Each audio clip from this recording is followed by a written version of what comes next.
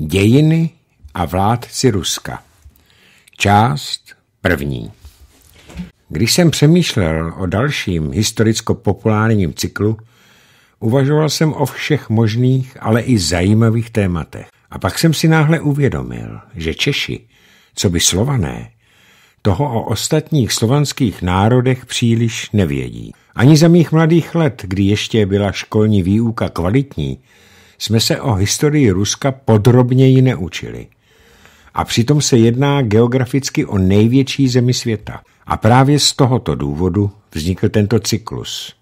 A musím hned zpočátku upozornit, že se bude jednat o velice rozsáhlý materiál, vzhledem k tomu, že bude pojednávat o velmi dlouhé historii jedné země, mnoha národech v ní žijících a ať se to komu třeba nelíbí, jedná se stále více o jednu z nejvýznamnějších světových velmocí. Ještě jeden fakt musím vysvětlit, a to název tohoto cyklu. Více převážná část bude zaobírat postupnými vládci této veliké země, nelze jinak, nežli občas zabrousit i s vysvětlivkami i do její historie.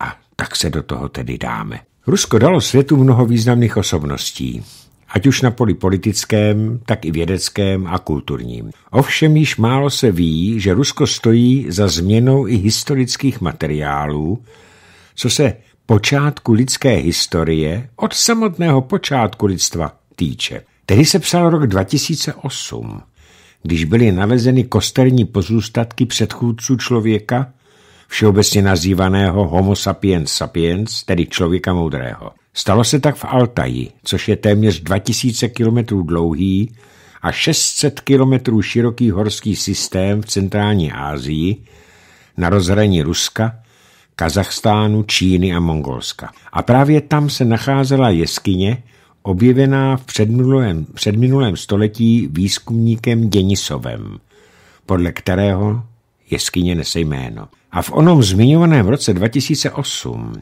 zde bylo zcela náhodou objeveno několik zlomků kostí, o kterých nálezce usoudil, že by se mohlo jednat o hodně staré kostelní pozůstatky předchůdce člověka a prozíravě je odvezl do výzkumného ústavu. Vědci poté určili stáří těchto kostí na 41 tisíc let. A nejen to. Dokázali z nich získat molekulární analýzu mitochondriální DNA, zkrátka je mtDNA. Co to sakra je? Řekl jsem si, když jsem tento údaj přečetl, a tak jsem se dal do pátrání. Tak tato mitochondriální DNA je označená pro DNA, která se nachází v mitochondriích a tvoří tak součást mimojaderné genetické informace. A zase názvy, o kterých, se, o kterých jsem nic nevěděl. Takže Mitochondrie je membránově obalená organela, kterou lze nalézt ve většině eu, eukaryotických, v tomto případě lidských buněk. A tak jsem byl zase na začátku.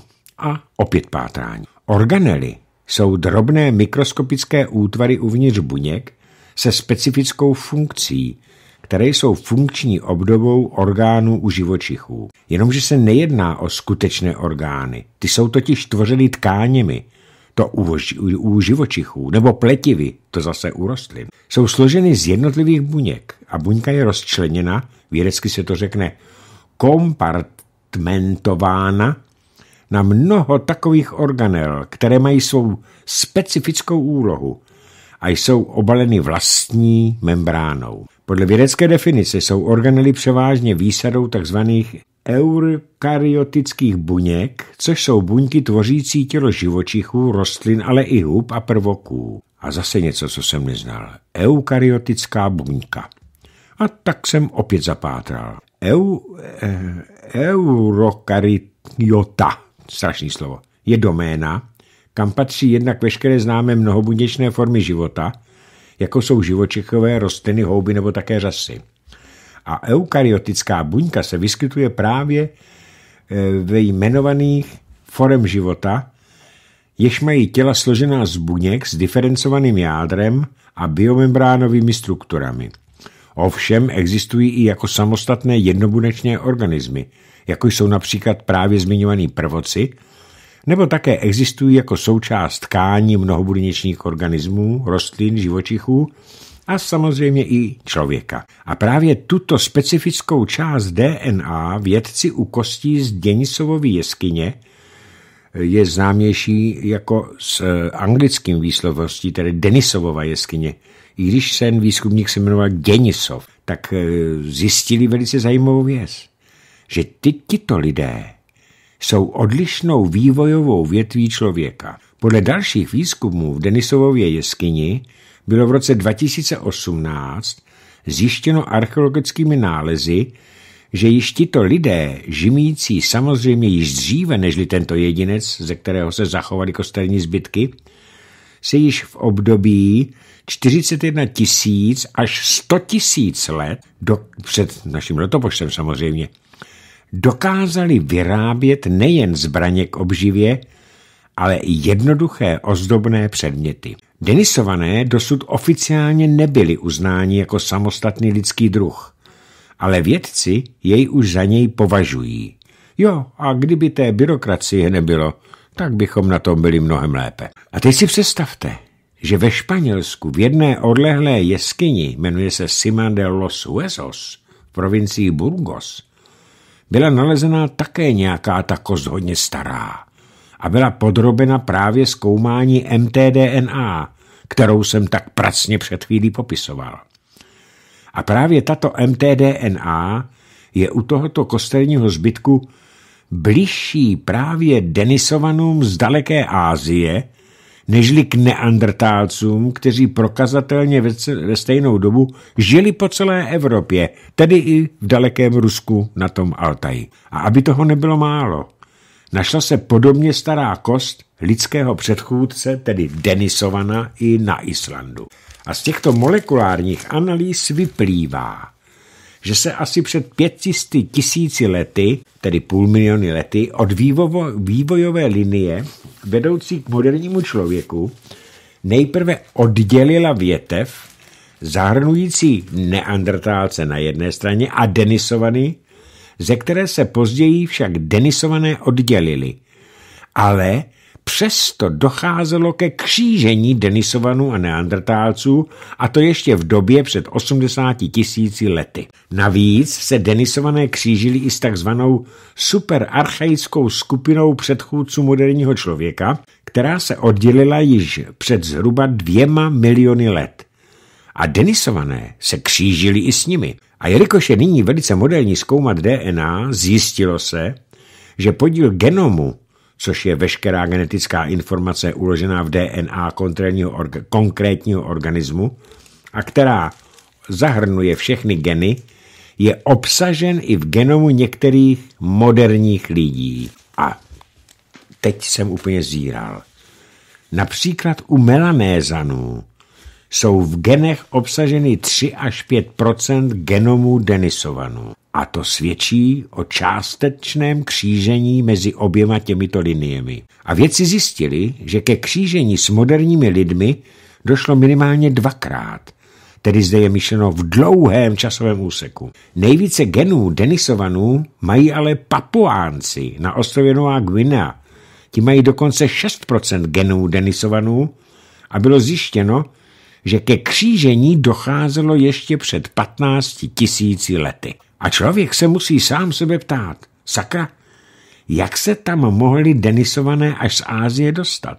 Asi o migraci předchůdců moderního člověka víme stále ještě strašně málo. Ale také se ukázalo, že denisované byli minimálně ve dvou samostatných liniích. A na závěr odbočky k pravěkému osídlení Ruska musím říct i nejnovější objevy v této oblasti. V květnu roku 2019 byla objevena v Tibetu dosud největší fosílie Denisovana v podobě jeho čelistní kosti a na jejím základě bylo možno zrekonstruovat přibližnou podobu obličeje tohoto pravěkého předchůdce člověka. A v září stejného roku představili izraelští vědci rekonstrukci obličeje denisovanské dívky právě na základě analýzy mtDNA. Má širší obličej než současní lidé a ještě jedna zajímavost. V Denisově jeskyni se společně s kosterními pozůstatky našel docela moderně vyhlížející náramek z leštěného zeleného kamene. Bylo určeno jeho stáří. A zjistilo se, že se jedná o absolutně nejstarší dochovaný šperk, neboť vědeckou metodou jeho stáří bylo stanoveno na 48 tisíc let. Vědci podle zbytků zvířecích kostí, ale i podle zlomků nalezených nástrojů usoudili, že denisované byli evidentně vyspělejší nežli tehdy neandrtálci, kteří v té době žili všude kolem. Tak to by bylo vše o předchůdcích dnešního člověka na území Ruska a mluvím o tom právě proto, že se tímto způsobem Rusko dostalo až na počátek eh, v podstatě lidského rodu. A nyní se vrátím zpět k tématu o dějinách Ruska a jejich vládci. V době předpísemné, tedy v době, ze které chybí jakýkoliv písemný doklad, se vědomí o historii toho, kterého národa předávalo pouze ústní formou. Později se tyto ústní paměti lidstva přenášely do písemné podoby. Ovšem hodnověrnost těchto legend, jak se to nazývá, jak jsme, se, mm, jak jsme si zvykli toto písemné zpracování ústního podání eh, zvykli nazývat, tak je vždycky diskutabilní. V pravěku se na ruském území usazovaly různé národy, které se navzájem nejen vybíjely, ostatně jako všude jinde na světě, ale také se mezi sebou křížily. Ve starověku se tyto národy změnily v počáteční národnosti a na ruském území se tak vykrystalizovaly národy slovanské. Tehdy ještě nebyly organizovány do větších uskupení, států, Nýbrž po staletí a tisíciletí žili nejprve v malých tlupách, které tvořilo několik zpřátelených rodin a z nich se později vytvořily rodové klany, již mnohem více hlavé. I v těchto dobách mezi různými klany probíhaly ostré boje, především o území a loviště. Stále ještě to bylo v době, kdy se lidé živili převážně lovem a sběrem, tedy si svá území museli bránit, aby jim jiný rod či klan nevybil veškerou zvěř a proto docházelo k velmi krutým bojům.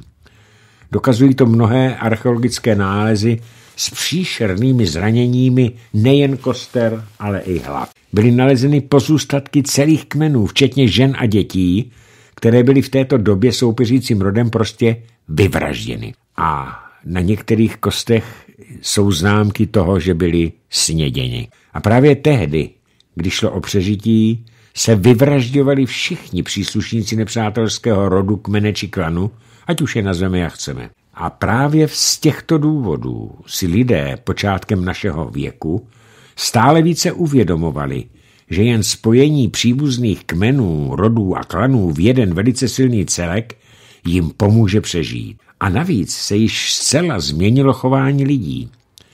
Sice tam stále ještě figuroval lov zvěře a ryb, ale zároveň se velmi rychle rozmáhalo zemědělství. A to na druhou stranu vylučovalo nomádský způsob života a lidé tak zůstávali na jednom místě, kde si zakládali svá políčka. Obrana vlastního území se tak stala životně důležitou prioritou. V této době se v celé Evropě začaly rodit první státy, v jejich čele stál většinou ten nejschopnější ze, švé, ze svého lidu. Jinak tomu nebylo ani na ruském území. Legendárním zakladatelem nejstarší ruské panovnické dynastie byl Rurik.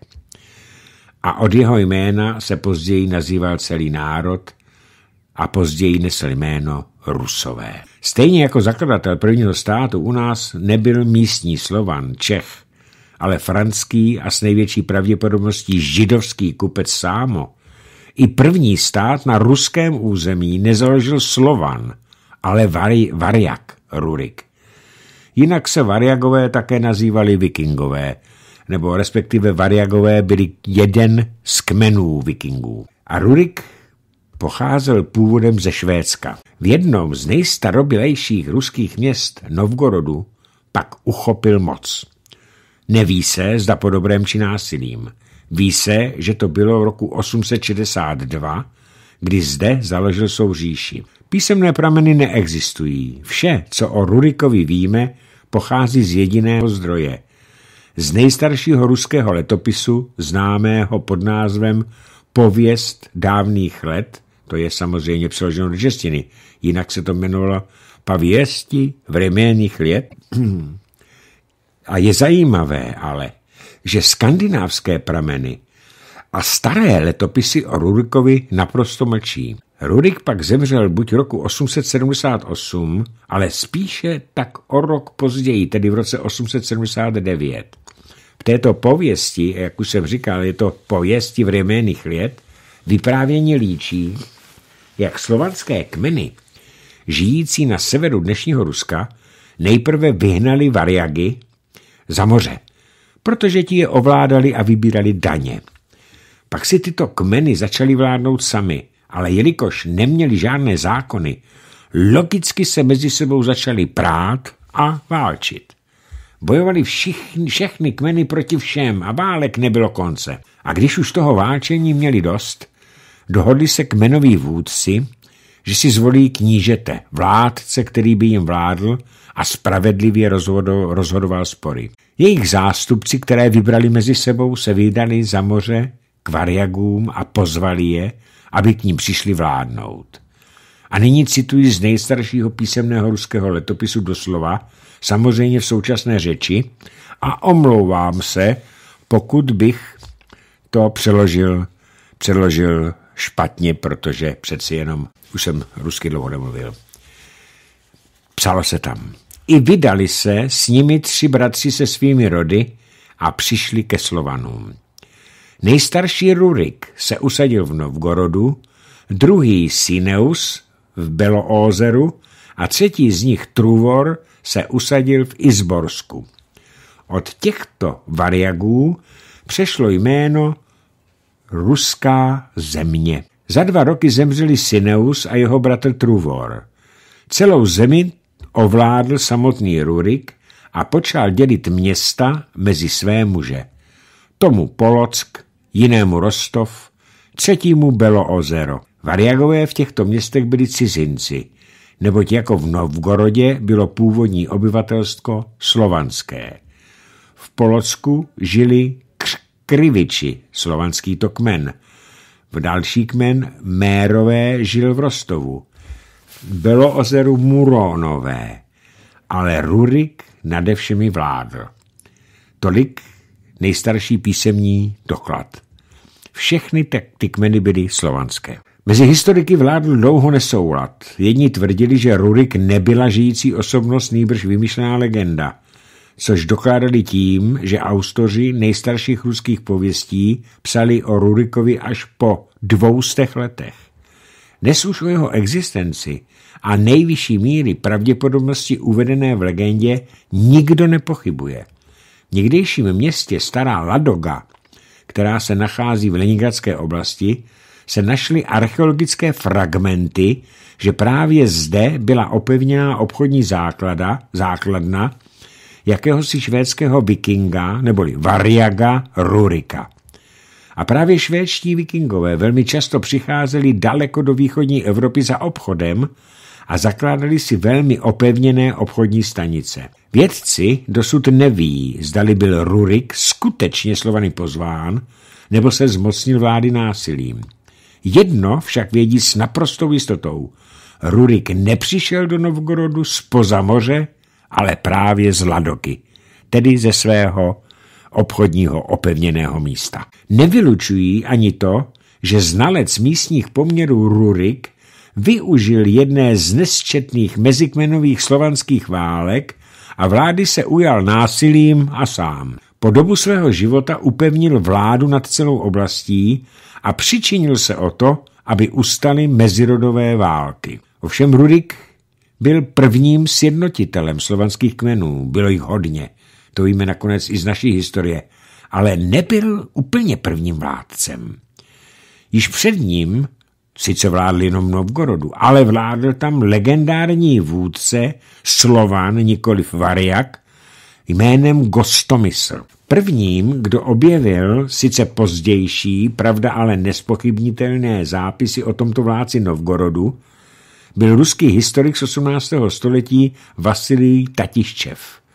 Objevil takzvanou Koakimovu kroniku, kde se uvádělo, že Gostomysl, pravověrný Slovan, byl zvolen novgorodskými Slovany jako jejich vůdce a právě za jeho velení vyhnali slované Variagy ven ze země a za moře. A v této kronice se uvádí ještě jeden velice zajímavý fakt. Gostomysl zestárl, ale od jedné ze svých mnoha žen měl mladou a krásnou dceru Umilu. A Gostomysl měl sen, že právě z jejího lůna povstane veliký vůdce.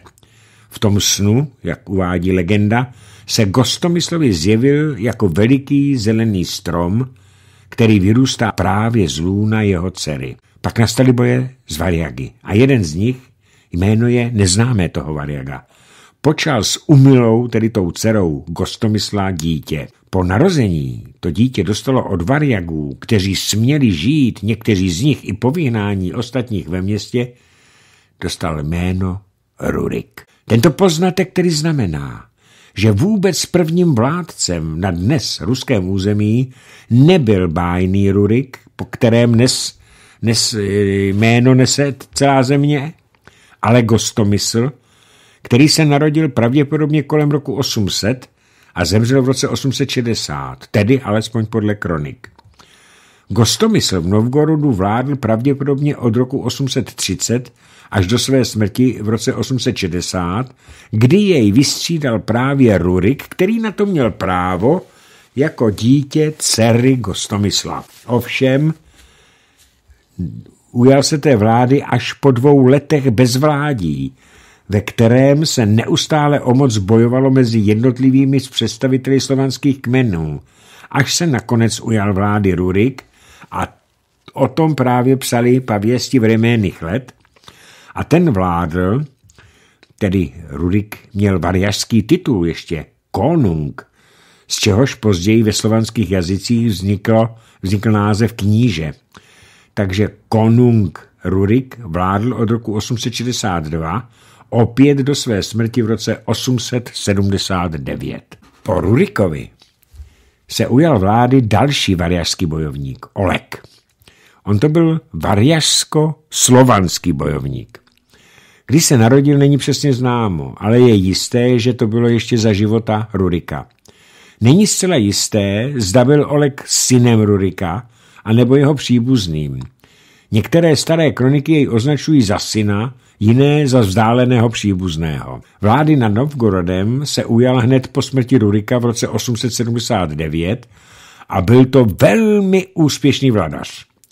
Roku 882, tedy vladař Novgorodu, ovládl i Kijev a založil nejstarší eh, východoevropskou a velmi říši a velmi úspěšný stát Kijevskou Rus. Olek později již byl nazýván kníže, i když on sám užíval vikingského označení konung, byl významnou osobou, kterou letopisy vykreslují pokaždé jinak. Podle nejstarší písemné dochované legendy popisující tuto dobu, pavěsti vreměných let, měl Rudik nikoliv syna Olega, nýbrž Igora. A jelikož ten byl v době úmrtí otce Rurika, eh, mladý, velmi mladý, vykonával Oleg za nezletilého syna regentskou zprávu Novgorodu a byl opravdu velice úspěšný. Okamžitě po uchopení vlády kterou později Igorovi odepřel a vládl sám, se pustil do výbojů. Postupně si podmanil a uvedl do poplatné povinnosti další východoslovanské, ale i baltské a finské obyvatelstvo, čímž novgorodský stát sílil. V roce 880 sebral ze všech spodmaněných území velikou armádu a vytáhl proti významnému obchodnímu středisku té doby Smolensku. Ten ovládal slovanský kmen Krivičů. Strhla se krátká, ale krvavá bitva a Olek jasně zvítězil, jak bylo tehdy zvykem. Zbavil se tedy všech potenciálních protivníků a celou oblast Smolenska přiřadil pod svou zprávu. Každý z kmene Krivičů, kdo se nepodřídil, byl zabit s celou rodinou. Tak to tehdy chodilo a jen tak si tehdejší vládcové získali respekt a uznání, ale i poslušnost. Ačkoliv si vojáci Olegovy armády mysleli, že se vrátí domů i s bohatou kořistí, Oleg tedy byl jiného názoru. Vojsko doplnil o vojáky z kmene Krivičů, kteří mu přísahali věrnost a vytáhl proti Kijevu. Ten v té době ovládali rovněž dva variagové, tedy vikingové. Variak, to byl tehdy slovanský název pro vikingy. Dneska se už tvrdí, že to byl jeden z vikingských kmenů. Zkrátka variagové to ovládali. Jmenovali se Askold a Dir. Ti dva před lety přišli do východní Evropy spolu s Rurikem, ale osamostatnili se i z části Rurikova vojska, dobili Kijev a ovládali jej jako nejvýznamnější obchodní středisko na cestě do Byzance. Tito dva vládci se pak dohodli a dobili a ovládli poblíž Kijeva umístěný slovanský klev kmen Poljanů. No a roku 882 přibyl Oleg s vojskem před Kijev a střetl se s oběma variagy ve veliké bitvě. V té se ku podivu nevyznamenali eh, Takhle, v té se ku podivu vyznamenali slovanští bojovníci, kteří svou zarputilostí byli hlavní silou vedoucí k vítězství v této velké bitvě. Méně bojovní byli i variagové, kteří tam s nimi bojovali. Olek vyhrál a rozhodl se, že přenese své sídlo tedy už to byla říše, z Novgorodu právě do Kijeva, který, jak jsem již říkal, byl na velmi výhodné obchodní cestě do Byzance. Olek tedy učinil Novgorod závislým knížectvím malým na, na Kijevu a fakticky oba státečky spojil. Vznikl tak nejstarší velký východoslovanský stát, Kijevská Rus. Ale ani vytvoření velkého a silného státu Olegovi nestačilo. Jeho ambice sahaly mnohem dále.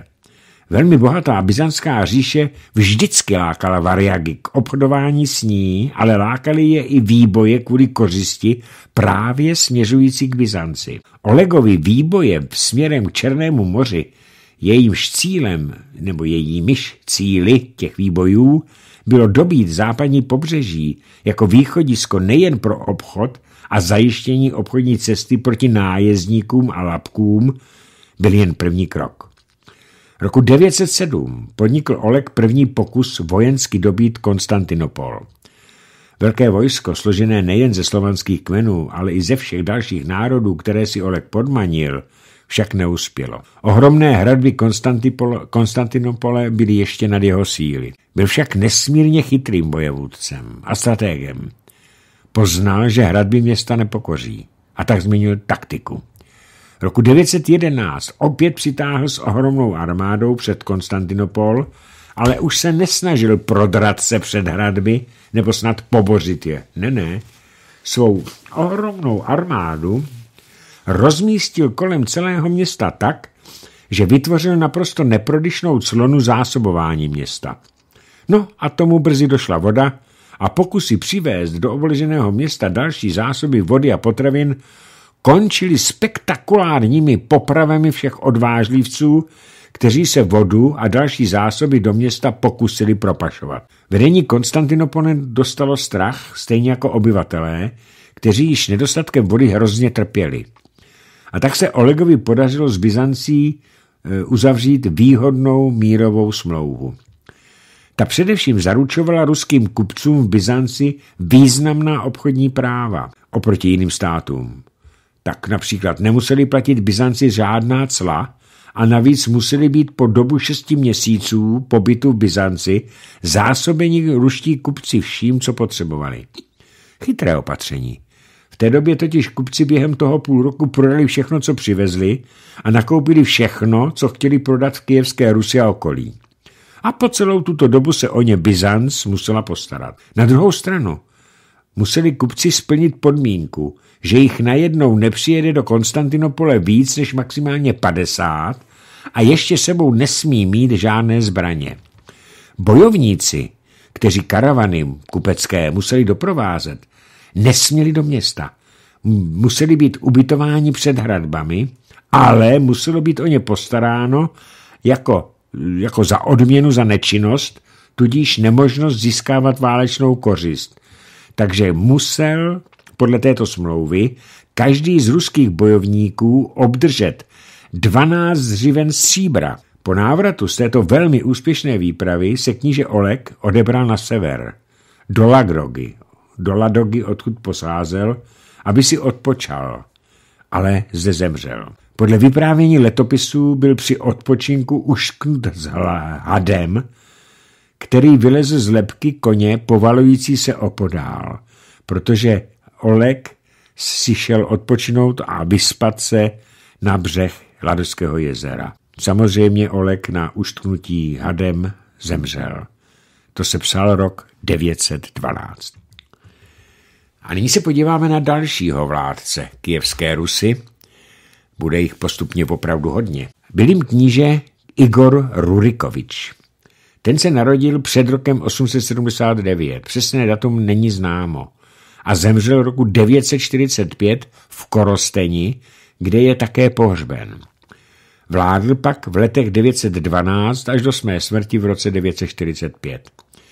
Podle některých starých letopisů byl synem variašského vládce Novgorodu Rurika, ale jiní historikové se však domnívají, že vláda v Kijevě po odchodu Olega na sever skončila a v osobě Igora, i když i ona používala titul konung, se dostala k moci slovanská dynastie. Zároveň ale další historikové namítají, že jméno Igor je obdobou skandinávského jména Ingvar a domnívají se, že Igor mohl být potomkem Variaga a slovanské ženy.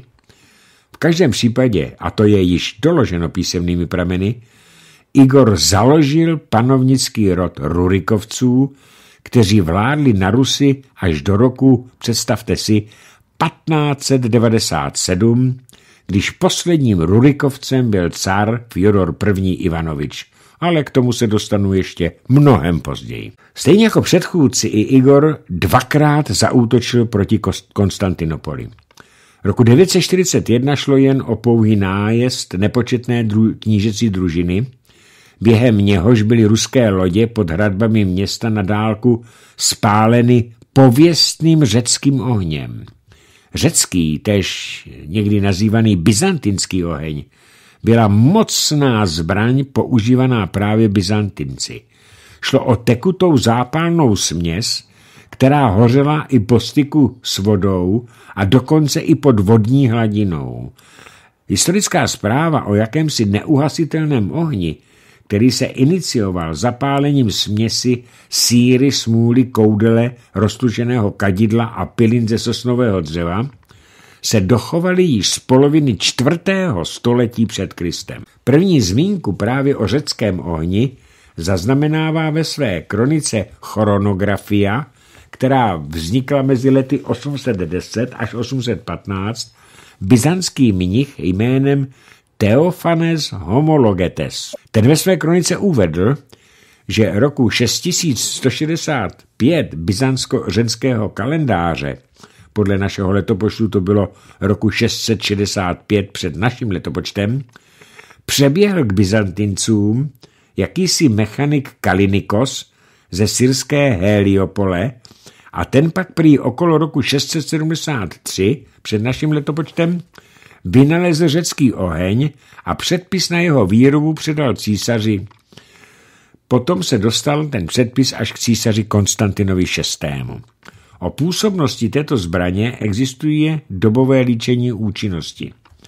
Účastník sedmé křížové výpravy Jean de Joinville o řeckém ohni napsal, že letěl vzduchem a nyní onen přesný citát jako velký soudek s ocasem dlouhým jako kopí. Hluk, který tropil, byl jako hřmění a vypadal jako drak.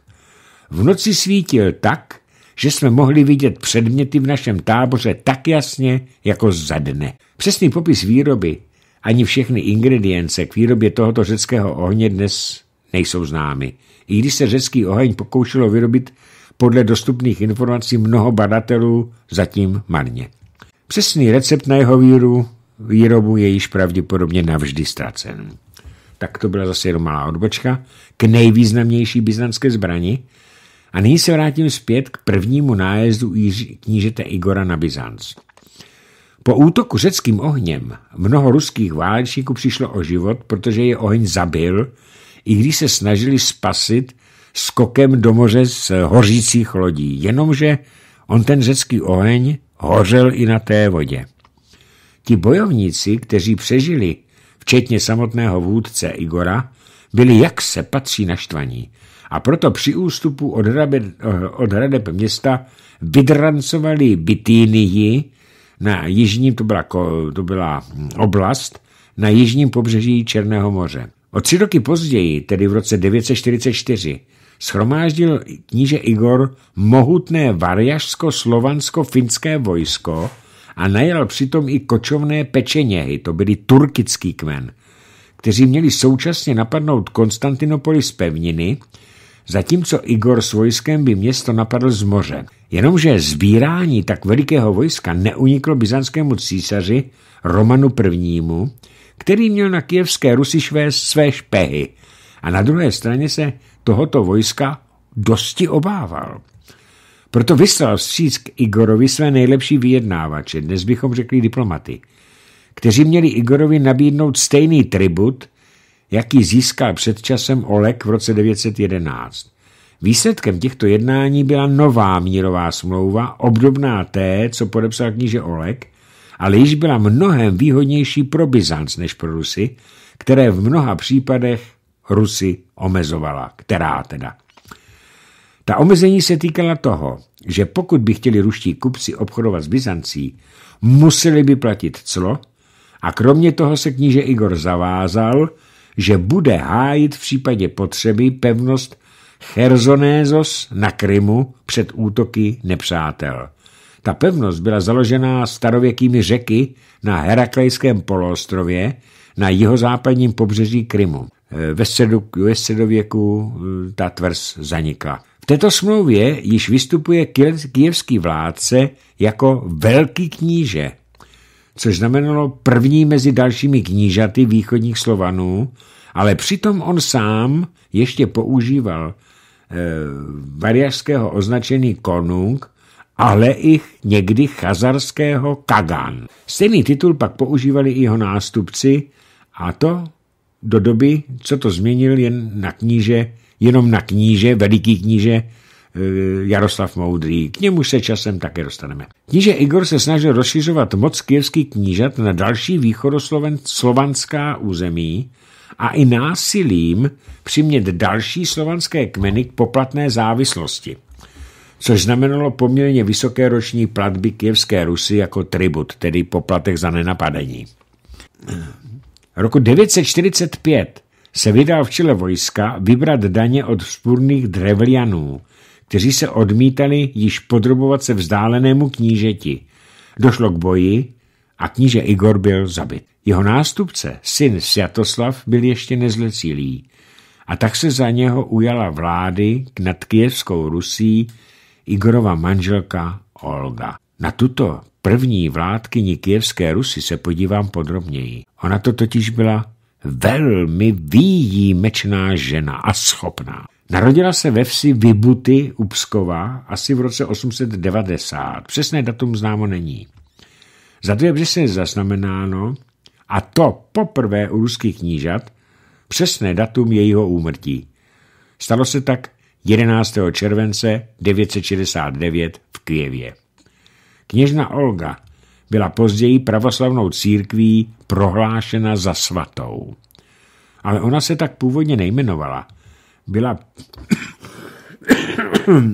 pokřtěna eh, Jelena, původně, teda pokřtěna, jako při narození dostala jméno Jelena a jméno Olga přijala právě ke, po křesťanském křtu a byla z ruských vládců vůbec první, kdo přijal křesťanství. V té době bylo křesťanství na kijevské Rusi a okolí velmi ojedinělé.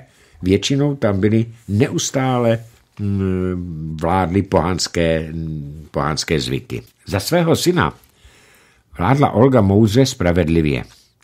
Hned po své smrti byla uctívána jako světice, hned po své smrti. A roku 1547 byla pravoslavnou církví prohlášena za svatou a je dodnes hodně v Rusku uctívána.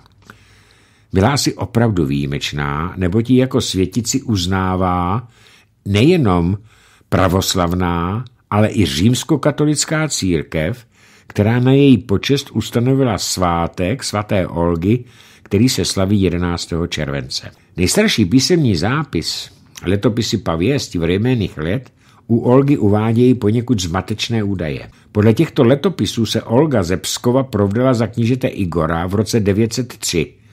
To by jí bylo asi 13 let. Ale zároveň se zde uvádí, že jejich syn Sviatoslav se narodil až v roce 942, takže to jaksi nesedí. I když tak brzké sňatky tehdy nebyly výjimkou. Spíš historikům vadí věk Olgy při narození syna. Době smrti otce mu byly pouze tři roky. A tak, jak se mi říká, se vlády nad Kijevskou Rusí ujala matka kněžna Olga. Drevliané si byli vědomi, co mocnému knížeství provedli a i hned poslali do Kijeva namlouvače, jak se tomu tak říkalo tehdy, aby se vdova provdala za jejich knížete Mata, čímž by se e, smrt Igora ospravedlnila a národy by se zpřátelili. A staré letopisy to ale líčí takto. První msta kněžny Olgy. 20 drevlianů namlouvačů přijelo v loďce, kterou druhý den na rozkaz kněžny Olgy Kijevávané odnesli a hodili do hluboké jámy na dvoře jejího paláce. Posly namlouvače zaživa zasypali společně s bárkou. Druhá msta. Olga si vyžádala z důvodu dostatečn, dostatečného projevu úctu, úcty, nedostatečného projevu úcty prvních namlouvačů, aby k ní byli vysláni noví poslové, ale tentokrát ti nejlepší z nejlepších. Bylo to drevliany splněno. Všechny tyto posly pak upálili v lázni, kde se chtěli po cestě očistit. Třetí msta. Kněžna Olga se silnou skupinou vojáků přijela do země Drevlianů, aby podle obyčeje vykonala triznu na hrobě svého muže. Drevliané se počas obřadu opili a Olga zavelela, aby je všechny rozsekali. Letopis vypráví, tedy konec, eh, rozsekali konec citátu. Letopis vypráví o pěti tisících zabitých drevlianů. To jsem dodával. A teď opět pokračuju v citaci. Čtvrtá msta kněžny Olgy. V roce 946 Olga vytáhla s velikým vojskem na Drevliany. Podle novgorovského prvního letopisu, to už zase je konec, ten Drevliany to končí, podle novgorodského prvního letopisu Drleviany Kivané porazili v boji a Olga se vydala po jejich zemi – zavedla daně a poplatky a poté se vrátila do Kijeva. Jenomže v letopisech pavěsti vremenných let letopises vsunul vsuvku do textu. Počáteční sbírky o obléhání drevianského hlavního sídla i skoro stejně. Píší tam. Po neúspěšném obléhání v průběhu léta nechala Olga město vypálit pomocí ptáků. K jejíž nohám nechala připevnit zapálenou koudel se sírou. Město začalo hořet, obránci odešli z hradeb a vojsko Olgy je překonalo. Část obránců byla zabita v boji, ostatní se vzdali. Olga si je podrobila, slíbilý poslušnost, ale přesto ve městě ponechala velmi silnou posádku, která měla každý náznak opětovné spouvry krutě potlačit. Poté, co se vypořádala z Drevliany, ujela se vlády nad kijevskou Rusí do plnoletosti syna Sviatoslava, ale i potom zůstala faktickou vládkyní, neboť Sviatoslav Igorovič, Igorevič, trávil mnoho času na vojenských taženích. Takže takto to bylo v originálu toho starého letopisu. Samozřejmě přepsáno moderní ruštinou, protože ty původní slovanské bukvy člověk nezná. Ještě se podívám na historii prvního křtu vládkyně východních Slovanů. Po smrti manžela Igora se v roce 955 vydala Olga do Konstantinopole a byla pokřtěna. Přijali ji tam jako velkou vládkyni. O dva roky později, v roce 957, tam byla opět a byla přijata byzantským císařem Konstantinem VII. Porfirogenetem. A ten jí požádal o ruku. Alespoň to tvrdí tehdejší letopisec Nestor. Jenomže císař byl v té době ženatý a proto Olga tuto žádost odmítla. A zároveň požádala císaře o vyslání pravoslavných biskupů na Rus. Ale císař je na misii nevyslal, aniž uvedl důvod že by uražená chlapská ješitnost po odmítnutí nabídky k sňatku. Zároveň tímto odmítnutím sňatku vztahy s Byzancí ochladly. A proto Olga v roce 959 požádala římsko-německého krále Otu I. o vyslání misie s biskupem na pomoc při christianizaci Kijevské Rusy. Tímto poselstvem se ale Olga pokusila si vybudovat těsnější spojení se západním císařstvím a získat tím větší nezávislost na Byzant. Císař Ota první jí vyhověl a hned téhož roku se na Kijovskou Rus vypravil mnich Adalbert, pozdější biskup Magdeburský.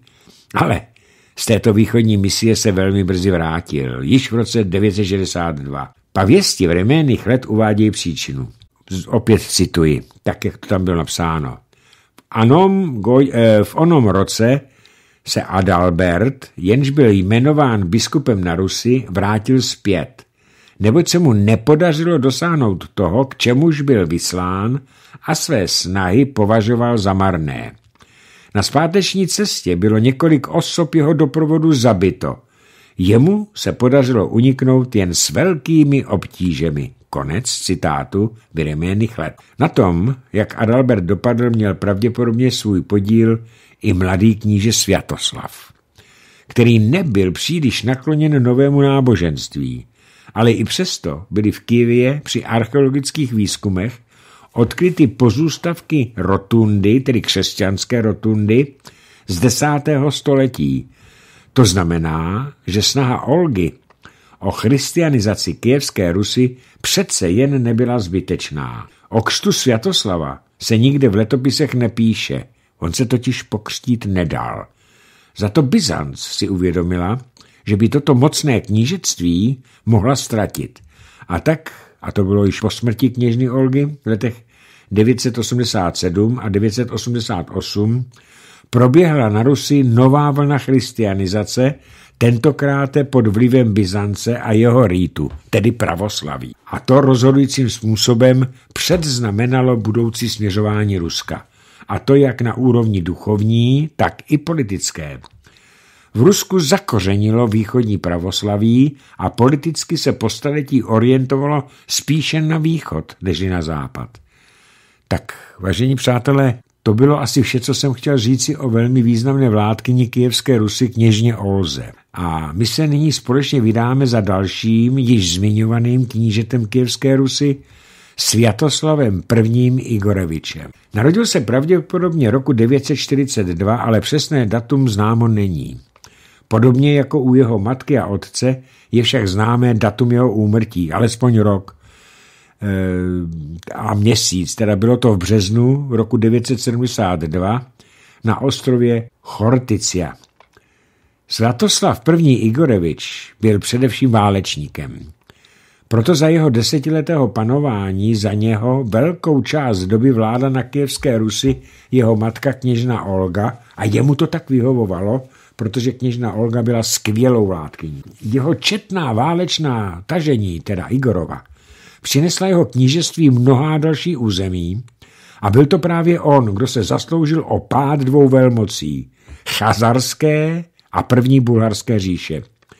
Zásluhou svých vojenských schopností připojil ke kijevské Rusi celé údolí Volhy, Ponské stepy a část Balkánského poloostrova. A jen pro upřesnění, Chazarská říše byla státním útvarem na pomezí východní Evropy a Ázie, která v době svého největšího rozkvětu v 8. a 9. století zahrnovala oblasti od dolního Dněpru až ke Kaspickému moři a úpatí severovýchodního Kavkazu.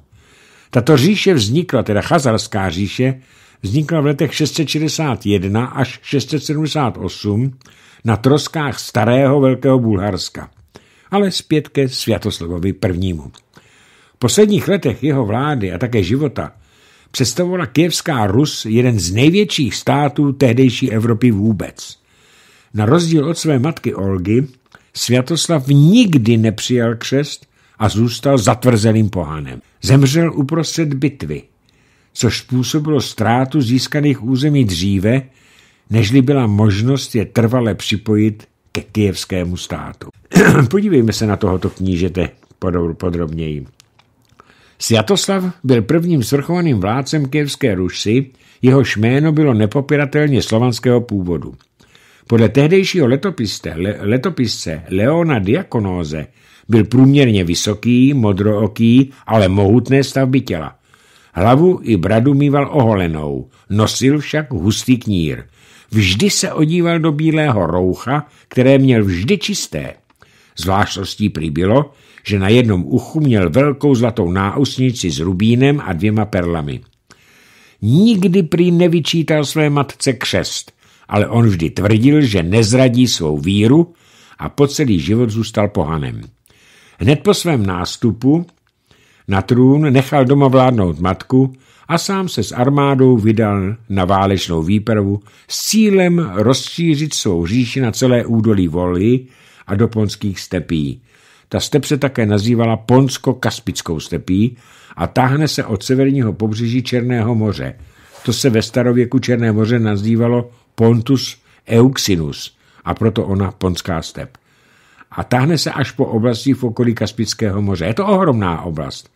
Rozkládá se od Dobrudže v, v severovýchodním rohu Bulharska a jihovýchodního Rumunska přes Moldavsko a jižní a východní Ukrajinu, přes ruský severní Kavkaz a Povolží až do západního Kazachstánu. V klasickém starověku tato oblast odpovídá státním útvarům Kimérii, Skýtii a Sarmátii a po celá tisíciletí zde žili různé a četné kočovné kměny.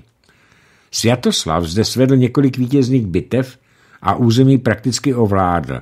Vyčistil jej od mnoha kmenů, které raději, protože to byli kočovníci, odtahli jinam. Poté dorazil do Chazarské říše, která se mu vojensky postavila, ale byla rozdrcena, což prakticky vedlo k rozpadu této jedné z nejmocnějších říší východní Evropy. Důvodem byla snaha Rusů získat přístupy k Volze kvůli lepším obchodním podmínkám a hlavně ukončit boje o vliv nad celým územím a podrobit si tamní východoslovanské kmeny. I to se Sviatoslavovi podařilo. Kmeny, které se nepodaly bez boje, jako například Vjatiči, byly napadeny a donuceny platit kijevské Rusy tribut.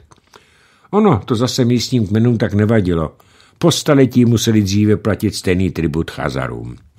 I hned po dobití tohoto území se vydal kolem řeky, řek Oky a Volhy a provedl invazi do volského Bulharska, kde vybral daně a opraci opět si podrobil tamní kmeny. Přitom využíval námezní vojáky, později se nazývali žolnéři, z řad porobených kmenů, především z řad oguzů a pečeněhů. Tyto kmeny byly známé svým jezdeckým uměním, ale i skvělou vycvičeností jejich koní a Sviatoslav je platil proto, aby vyrovnal nedostatek svých vojáků v jízdním boji proti schopnější jízdu chazarskou i bulharskou. Kolem roku 965 byl ruskými vojsky zničen chazarský Sarkel, což byla velká vápencová chazarská pevnost, dnes už je zalitá vodami Cimelianské přehrady. Přitáhl před krymský Kerč, dobil ho a vypálil. Poté se obrátil zpět a dobil i hlavní město chazarské říše Atil. A právě jeho pád, tedy města Atil, předznamenal naprostý rozpad kdysi mocné říše Chazarů. Tím pádem Kijevská Rus ovládla všechny hlavní obchodní cesty všemi svěry a do dobitého území začaly proudit slované, což nakonec vedlo k tomu, že se zde významně změnily demografické a kulturní poměry. Ale o tom, kam se velký vojevůdce a válečník vydal příště, i o jeho dalších osudech si ale budeme povídat opět až za týden v další části tohoto velmi rozsáhlého cyklu.